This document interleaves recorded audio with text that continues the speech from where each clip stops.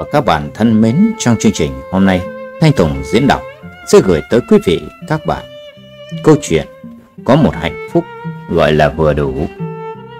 Tiền tài là để tiêu xài, đồ chi dùng là phước đức, bằng quá nhiều sẽ biến thành mối lo lắng bất an.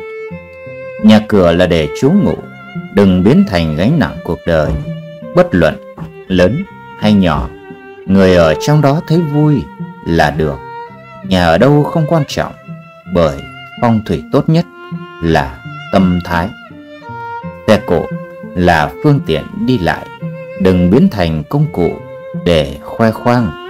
Lái xe gì không quan trọng, miễn đi bình an, về vui vẻ là được.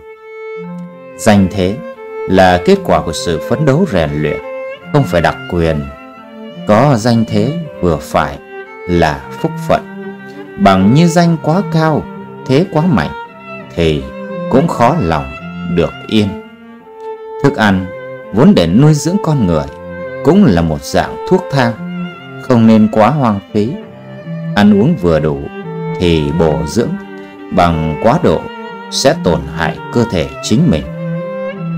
Cuộc sống không nhất thiết phải đại phú, đại quý, mà chỉ cần mỗi ngày trôi qua đều có ý nghĩa tốt đẹp. Thanh tùng diễn đọc sưu tầm, vui lòng bấm like, share và đăng ký kênh để những điều ý nghĩa như vậy tiếp tục được tỏa lan rộng rãi. Trân trọng, mến chào.